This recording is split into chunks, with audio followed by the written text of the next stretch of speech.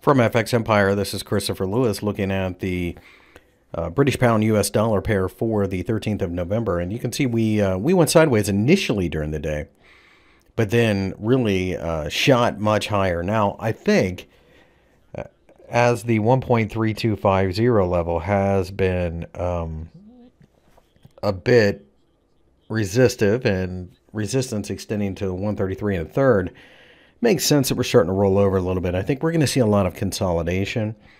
Uh, the previous weekly candle was a shooting star, which is negative, but we have not been able to break down below it. And we have a significant amount of support at the 1.30 level underneath.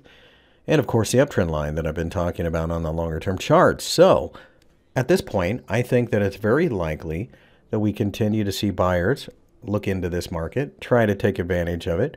Uh, but in the short term, looks like we got a little ahead of ourselves according to the stochastic oscillator. So I expect a little bit of a rollback as we continue to just consolidate in general.